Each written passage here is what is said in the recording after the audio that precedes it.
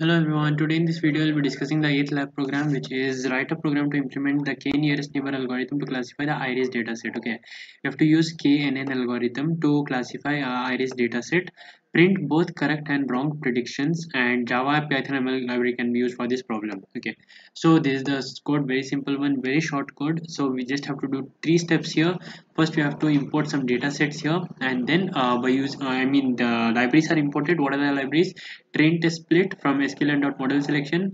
From sklearn.neighbors import k-neighbor classifier because we are using that. And for iris dataset we are importing sklearn uh, imported uh, datasets after we have imported the libraries our second step is to train the model how do we train the model?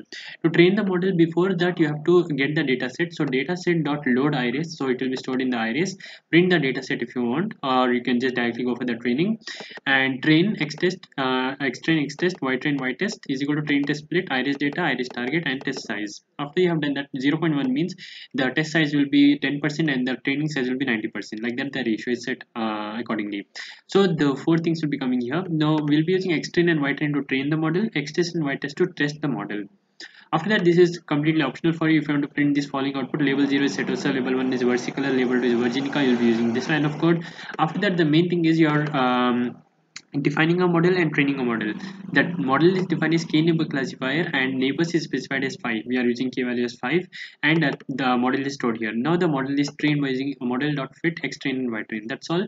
And will predict the values. Means test the model using y pred is equal to classifier dot predict x test. After this the predicted values will be stored in y pred now the results will be shown as follows. For each of the label we have to uh, print see what they have asked in question print the correct and wrong predictions. So for each of the values what is the x value? What is the actual label? What is the predicted label? That will be specifying. So what is the uh, test label we have? For x test we have the test labels. Then what is the actual label is y test. And what is the predicted level in ypred we have? R is nothing but uh, it will uh, denote the index value. So first we'll uh, denote what is the x value here and what is the actual level and the predicted level after i have done that the classification accuracy is uh, scored as follows. Classification uh, classified as score x test and y test. So it will uh, get the score of what is the actual value and what is the predicted value. Okay. So that's all uh, in this video. Make sure hit the like button subscribe to my channel for more videos like this and thank you so much for watching. I'll see you in the next one